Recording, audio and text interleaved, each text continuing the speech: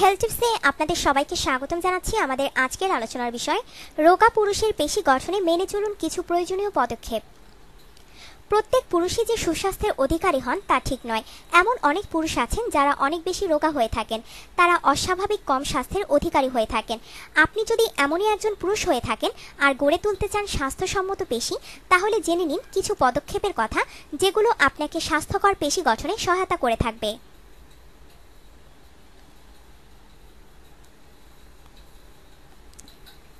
এক সাপ্লিমেন্ট গ্রহণ করুন। এর জন্য আপনাকে প্রতিদিনের খাবার থেকে পুষ্টি উপাদান, ভিটামিন এবং মিনারেল গ্রহণ করতে হবে। তবে আপনি যদি কোনো ধরনের শারীরিক ব্যায়াম করে থাকেন, তাহলে আপনাকে অতিরিক্ত কিছু সাপ্লিমেন্ট গ্রহণ করতে হবে। এক্ষেত্রে প্রোটিন পাউডার ব্যবহার করতে পারেন।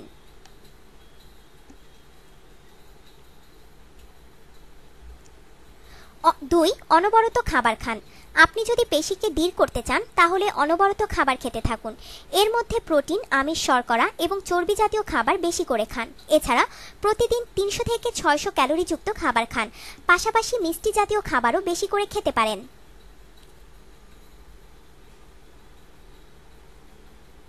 তিন, বেশি করে মাংস খান।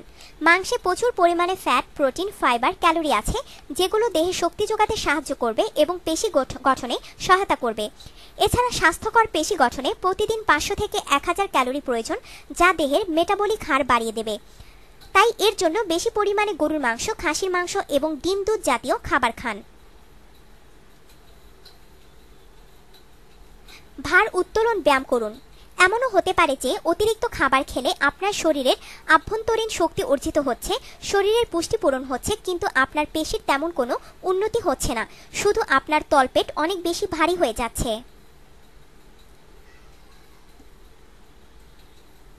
এমন ধরনের সমস্যা থেকে মুক্তি পেতে আপনাকে অবশ্যই নিয়মিত শারীরিক ব্যায়াম করতে হবে। এক্ষেত্রে আপনি ভার উত্তোলন ব্যায়ামটি করতে পারেন। এতে করে আপনার ক্ষুধা বাড়বে এবং আপনি শারীরিকভাবে ফিট হয়ে উঠবেন।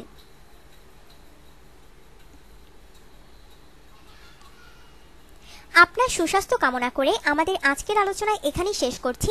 নিয়মিত বিভিন্ন স্বাস্থ্য টিপস ও পরামর্শ পেতে আমাদের চ্যানেল সাবস্ক্রাইব, লাইক ও শেয়ার করবেন। ধন্যবাদ।